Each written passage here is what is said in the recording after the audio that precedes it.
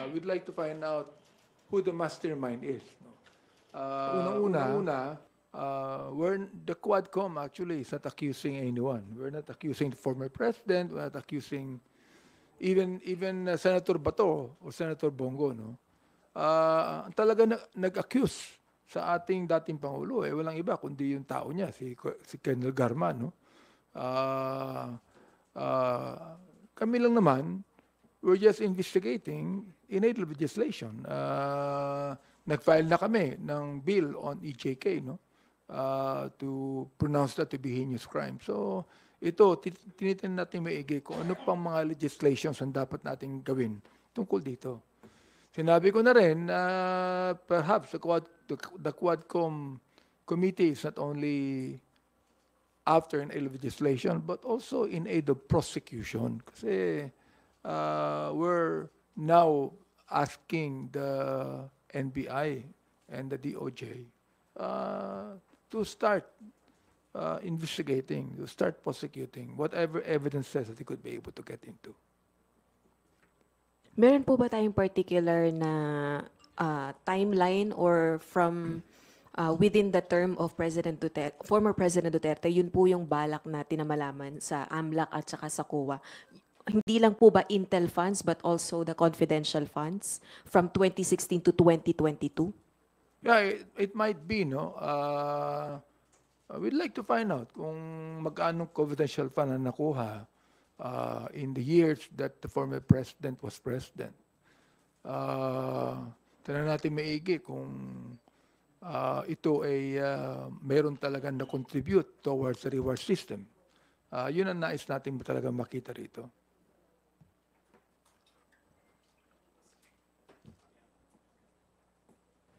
Sir, sorry, you just mentioned po na hindi lang po kayo after in aid of legislation but also in aid of uh, prosecution.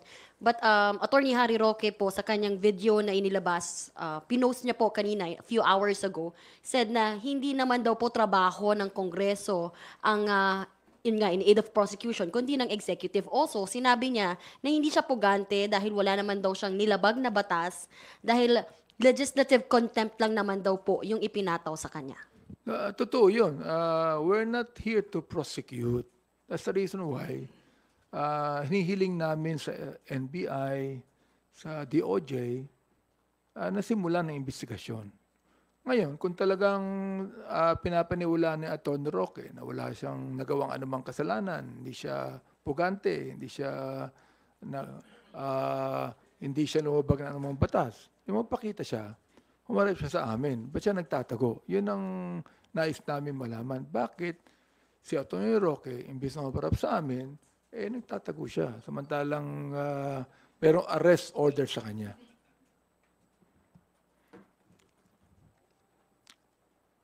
Hi, sir. Zandro Ochoa pa from Billionario. Sir, um, so aside from the uh, Intel funds, are you looking at other sources of yung funds na ginamit for rewards?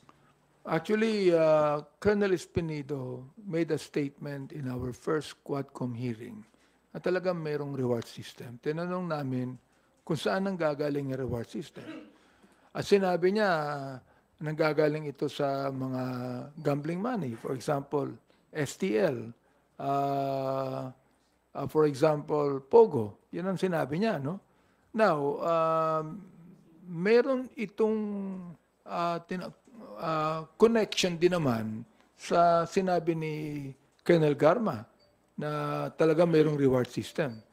Although hindi niya talaga tinukoy kung ito ay galing sa STL. Tinukoy lamang niya na mayroong pondo na nakalaan dito, na nagtatago ng pondo nito, things like this. So, So, sir, pwedeng all of the above? Pwedeng Pogo, STL? pwede, pwede, pwede. More, more than one? Yes, pwede. Pwede rin na ano eh na kung kung yan ay talagang operational expenses at tinatawag. Siyempre, uh, that would appear. Mag-a-appear yan sa COA, mag-a-appear yan sa uh, pag-imbestiga doon sa mga intelligence fund and confidential fund na nakalagay ng operational expenses. Ang gusto nating malaman, paano ginamit itong operational expenses na ito. Kasi actually, pag sinabi nating operational expenses, na binibigay bago ang operation. Eh. O, hindi binibigay yan after the operation. Ah, so it's not actually a post-operational expenses. But before any operation can can be done, merong tinatawag nating operational expenses. We understand that. Oo. But not the reward for policemen killing another person for that matter. So sir, may, possible na dirty money yung ginamit for the reward system. It can be possible. Yes. Oo. And, and sir, last na lang on my part. Yung may binabanggit si Colonel Garman na yung Coplan pala, sir, hindi pala pinapondohan ng PNP. Yung? Nagaga- yung yung Coplan po, yung ah, ah, yung yung mga planned na operations. Ah, hindi pala siya pinapondohan ng PNP, nakasanayan na daw on ground na fr- pumupunta yung mga pulis sa mayor. Ah, ano an- may, may, may ganun po ba? uh, uh, I do not know a lot of things about that. Although, syempre, ang atin namang mga kapulisan, pumupunta yan sa LGU, no? Especially kung talaga meron silang operations. And they would be asking the LGU for help. Ah, okay lang yun eh. Okay lang yun eh. Unless otherwise, ang talagang papatay nila, mayor din naman. Oh, the thing is, uh, uh, in the past, uh, in the last administration, I think there were nine mayors that were actually killed. Yun nga sir, ano would we go as far as isa-isahin? Tignan yung mga kaso na rin na ito kung connected? Tinanong namin to eh. Ang sinabi lamang ni Colonel Garma na merong police officer na involved ay yung yung pagkapatay kay, kay, Mayor Halili, no? I was the one that asked, halimbawa naman yung pagkakapatay sa Mayor ng Los Baños, si Mayor Perez. Drugs din yun eh. At ang napagbintangan, eh konsyal. In fact, right now, i- the, the councilor is still in jail. Oo. Yung ba, eh, police operation din to. Wala siyang sinabi, hindi niya raw alam yun.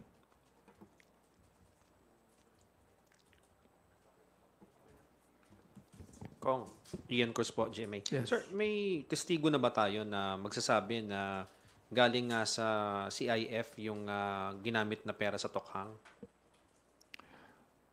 Well, uh, as far as we're concerned, eh, si Garma pa lang talaga ang nagbigay ng statement ng tungkol dyan. No? Although, tinatanong nila kung gaano, gaano katotoo yung statement na yan. Sinabi ko naman na mula kay Colonel Espinido na sinabi niya may reward system, yung napatay na Chinese drug lord sa Davao Penal Colony, na binigyan ng PDL ng tigi isang milyon. No? In fact, uh, uh, according to the according to the PDL na nag-testify, even Colonel Padilla, uh, na ang sabi nung SPO for Art Narsoles na bawat ulo isang milyon. So tatlo yan, tatlong milyon yan. Ah, pero isang milyon lang ang binigay sa kanila. And ah, yung dalawang PDL, they gave that 1 million to their wives o anak. Ano? So, sa kanila, naloko sila doon. Ah, pangalawa, they were actually promised liberty. No? Tanggalin na yung kaso. But instead of that, they were, they were even charged so, ng homicide. Oo. Ang pangatlo niyan, eh yung Kibarayuga na yung testimony ni ni Lieutenant Colonel Santi Mendoza na talagang nagkabayaran. Tat tatlong daang libo ang ibinayad doon sa nakapatay kay Barayuga at uh, siya nga yung inutusan at nakatanggap siya. Sinabi niya nakatanggap siya ng 40,000. And of course, ang pangapat, si Colonel Garma. So definitely, sa apat na testimony yan, eh talagang mayroong reward system. There's no doubt about that. Ano, so ano pang kailangang ebidensya? Oh. So sir, sa pag-follow ng money trail, anong mga nakikita nyo ma- malaking steps na gagawin ng komite? Well, ah, ang step na gagawin po namin yung nga sinabi ni ni ni Congressman Dan Fernandez na they will we will invite COA. And then of course also uh, tatanungin namin yung AMLA tungkol sa ah, pagli- palipat-lipat ng perang yan, kung saan na- nanggaling yan, kung saan napunta yan. kung sino ang nag-spend yan. I would think that AMLA would know about it. Ah, Congressman, marami pa bang, sa tingin nyo, marami pa bang sasabihin si Colonel Garma? Ah, ang dami na niyang sinabi niya malalaki, pero mas meron pa ba siyang, ah, sabi nga nila, eh, meron pa bang tayong hinihintay sa kanya? Palagay ko, meron pa eh. Ah, hindi ko pwedeng isiwalat sa lahat sa inyo. Meron pa. In fact, ah, um, meron ng ano, meron na nagka-come forward sa amin on their own na nagbibigay ng salaysay. We still do not know kung ano yung sunumpi ang salaysay yan. In fact, eh, yung affidavit na ginawa ni Garma, nagulat kami lahat eh, kasi binigay sa amin yan. Hearing na kami. Uh, That was given to us. Oo, kaya nagulat kami sa revelation ni Colonel Garma. Si Leonardo po, si ah, NAPOLCOM Commissioner, ah, kailan po siya magsasalita at ah, sa tingin nyo, may malaki din ba siyang papasabugin? Until such time that uh, Colonel Leonardo uh, would submit to us a signed affidavit, doon namin siya isasalang. Oh, Doon lamang. Uh, we still we still do not know what uh, what uh, the status of his mind is. Pero meron na bang inclination na magte-testimonya siya, ah, kagaya po ni ah, Colonel Garma? Ma- sa aking palagay, no, sa akin lang, no, personally, palagay ko meron na eh. Uh, we only do not know when that would be or perhaps in our next hearing, uh, he'll be submitting to us ang isa kanyang sign na, pan, na sinumpaang patsalaysay, whatever it might be. Eh, sana, uh, this coming uh, October 22, no, supposedly, when we have the next hearing, na may sasalang namin si Colonel Leonardo. Congressman, yung mga class 96 at 97 na mga PNPA, meron na bang nag lumapit sa inyo na sinasabing may nalalaman din po sila? Ah, wala pa naman. Wala pa naman lumalapit sa amin. Ay, Yes.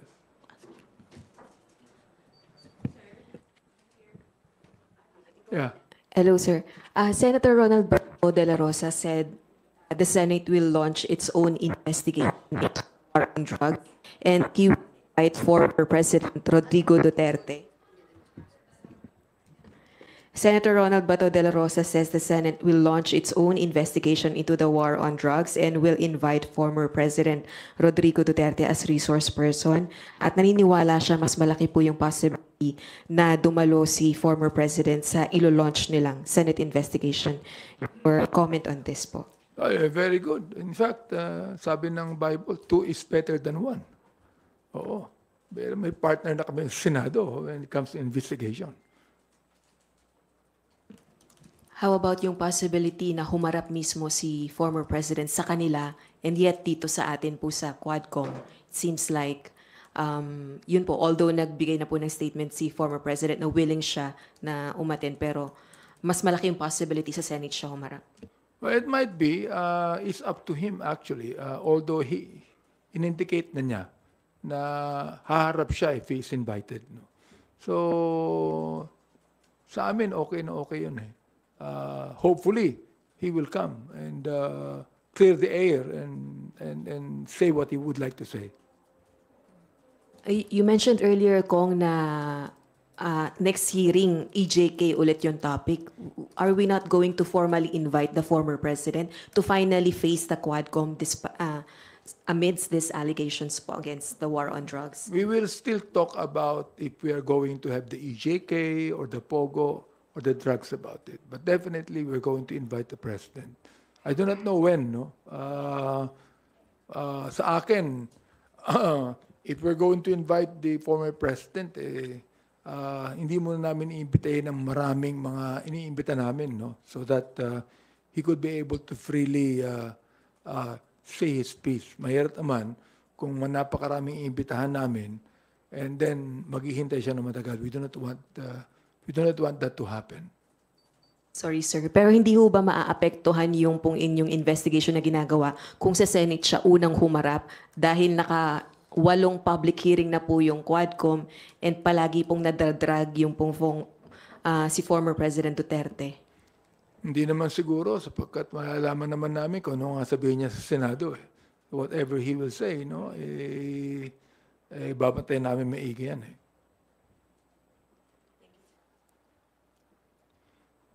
Yes. Sorry. Good morning po. Uh, Lianes Kapante, GMA News Online.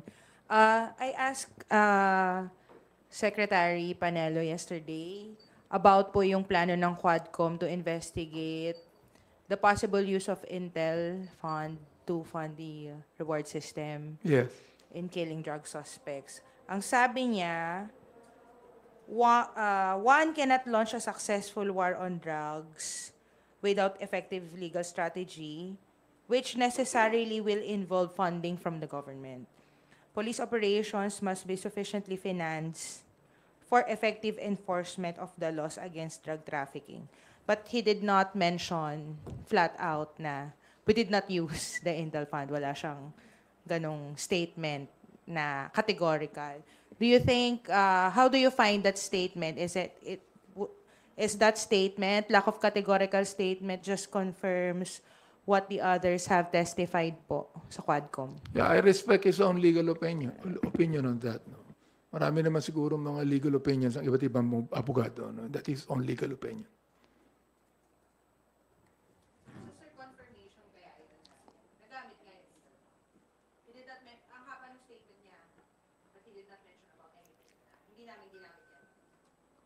Ah, ano ibig sabihin ng hindi namin ginamit? Kasama siya ron?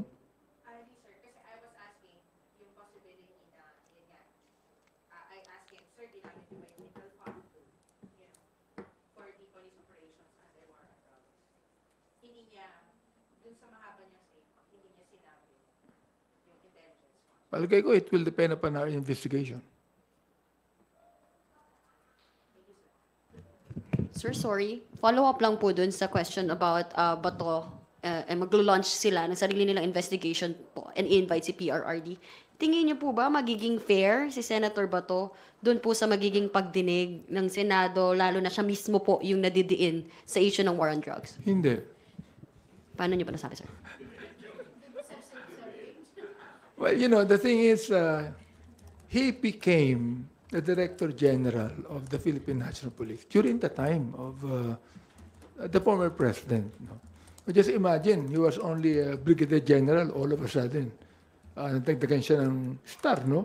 Naging uh, uh, Major General siya and naging uh, uh, Director General. So I would think that he would uh, be more biased than actually balanced in uh, in that in that uh, hearing. No? Sir, how about po yung mga narco generals? Are you going to invite them? Wala po kasing na-file na case at wala din pong nailutang na evidence. Ki- nabrand po sila dahil close sila sa isang presidential candidate kay former DILG Secretary Marojas na identified doon sa Novotel. Sinabi na pong narco generals agad. Pag, pag uh, amin na pong iimbestigahan ng drugs, dangerous drugs, palagay ko uh, we will now be able to know and invite who the who the narco generals are. At this point in time, eh, hindi pa na masyado namin pinag-uukulan ng pansin yan. Good morning, Kong. Yes. Here, right here. Sir, mer so are you seeing conflict of interest sa investigasyon ng Senado na or their their planned investigation dito sa war on drugs? I really do not know if uh, most of the senators would agree to it. No? Sinabi lang yan ng isang senador eh. So, there might be, there might be. But we do not know, no? We still have to wait until such time, such time that will happen. On the details lang po nitong pagtap ng AMLC sa investigasyon ng Quadcom, nag-reach out na po ba ang Quadcom to the AMLC and uh, on the particulars po, kani-kaninong bank accounts po yung titingnan?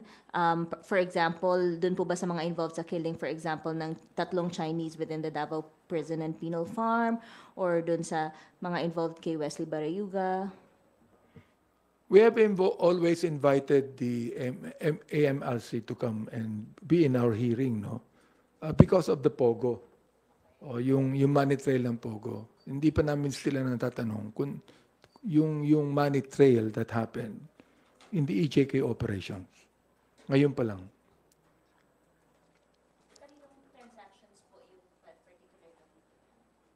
Yung?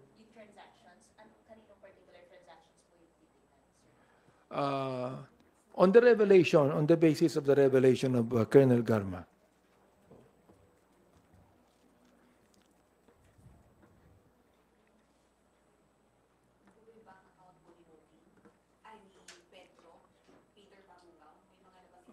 Oo, yung yung Peter no. In fact, uh, we are actually looking at the possibility of inviting him to come. Kung sino man yung Peter na yun. Wala nakakakilala kung sino siya eh. Yes, because siya, siya yata yung humahawak ng bangko eh. Don't actually know about it.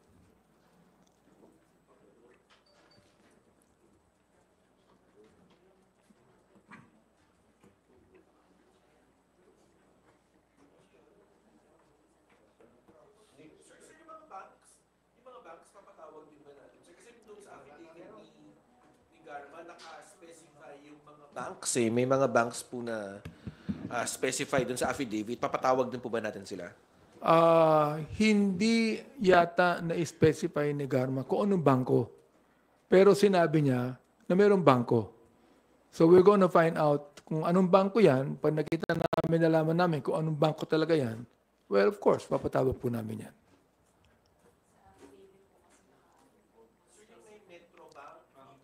Ah, kung naka-specify yan, we will call on them. Mm, Definitely.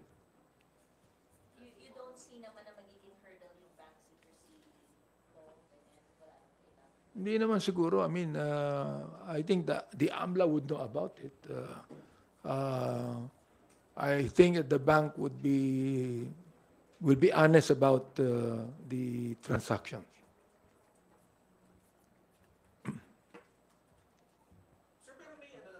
May, may, may, kasi sir, even yung sa Intel funds, parang hindi pa talaga concrete yung what we know right now. Sa tingin niyo, sir, um, in the next hearing, malilink na yung possible sources na STL, POGO, and yung Intel funds? Sa tingin niyo, mabubuksan na po doon o medyo... In our hearing, there'll be no let up. No? Ibig sabihin na talagang hindi lang namin tatapusin ito.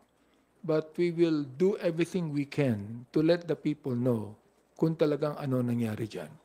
Kasi sinimulan na namin eh. And uh, of course, this is about politics, no? Uh, the thing is, uh, we, we would like the people to know na talagang kami, eh, gagawin namin na lahat para ma-expose lahat itong mga shenanigans na ito, ma-expose lahat itong mga illegal na gawain ito.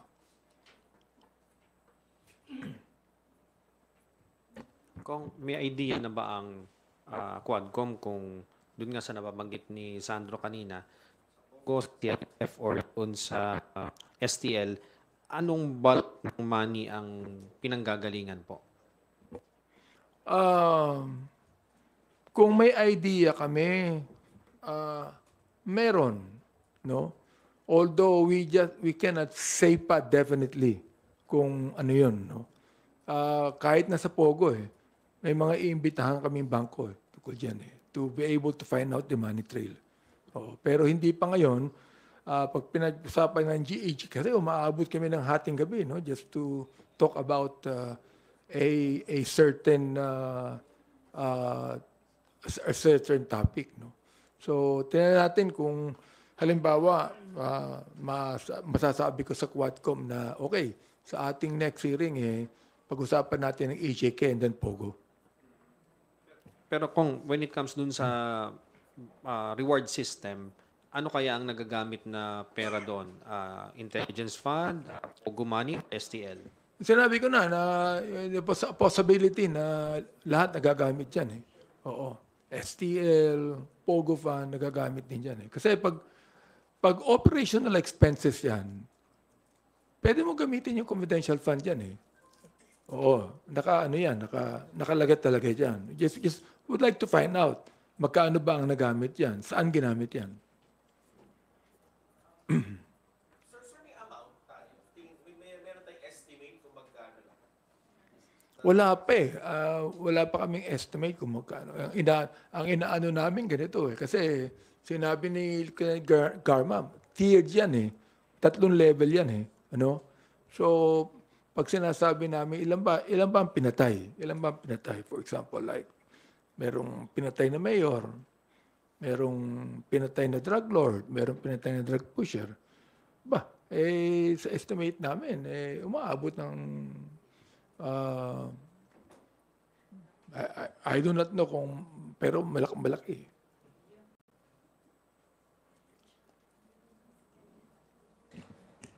Hi sir, Ah, Mela from PTV po. Sir, yung dalawang ano lang, yung dalawang bills na final ng ah, Quad Committee ah, Chairman, ah, kailan po kaya masusunod? Kasi nababanggit nyo sa mga ah, pagdinig, mas marami kayong ah, inaay na panukalang batas na ihain ah, mula dun sa mga natutuklasan nyo sa mga pagdinig. Kailan po kaya yung susunod na magiging paghain ng mga panukala ng ah, ah, Quadcom? At ano-ano yung mga susunod pang panukala na ah, ihahain pa natin mula dun sa mga naungkat natin sa investigasyon? Pinag-aaral na namin yung pangatlong batas on the espionage bill. Oo, sapagkat medyo malabo yung batas natin ngayon tungkol dyan. No? So pinag-aaralan po namin kung ano ang may dadagdag namin or we could be able to amend the espionage law right now.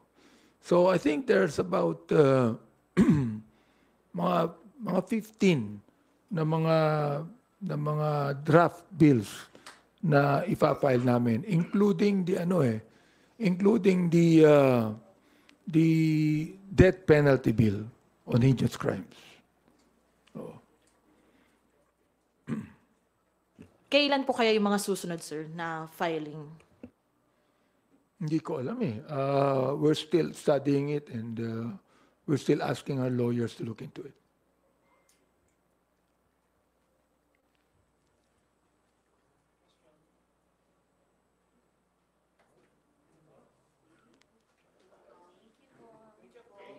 Salamat. Can I just say something? Ano, ah, gusto ko lang magpasalamat po sa ating mga kababayan. No? That are, kasi marami ko nakakausap na napupuyat sila eh, na pinapanood tong Quadcom hearing. And I just would like to thank them for the interest na meron sila na malaman ang nangyayari sa ating bayan. Maraming maraming salamat po sa mga taga-suporta ng Quadcom at uh, makakaasa po kayo. We'll do everything we can for our own country para po sa ating bayan. Maraming maraming salamat po sa inyo lahat.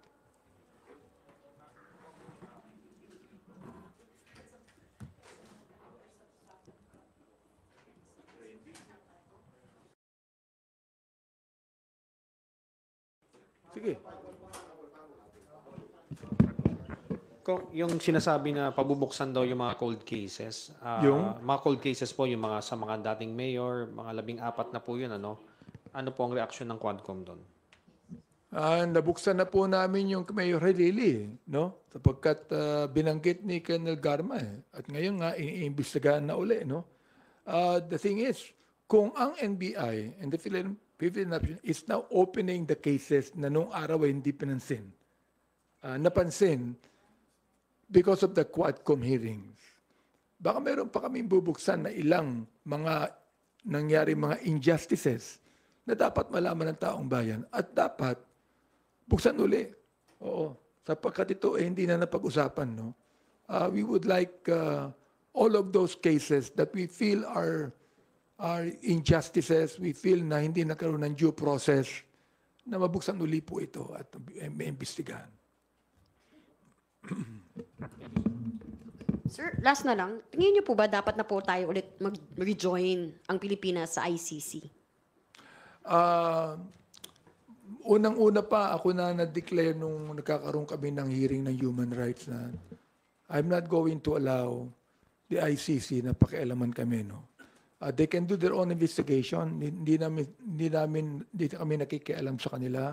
They have the right to do, have their own investigation. We have the right of our own and we are not going to submit our documents to them no. Although public naman yung hearing namin kaya palagay ko narinig na lahat ng nangyayari. I don't think uh, there there'll be in, walang walang possibility for them to rejoin us to join us in the in the hearings. I mean the Philip, yeah.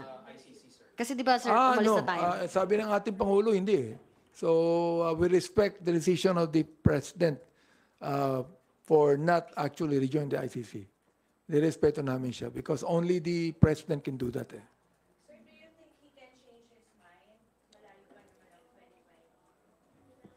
I really do not know.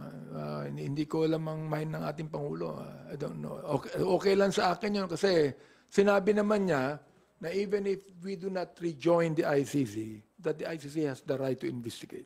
So, siguro okay na yun.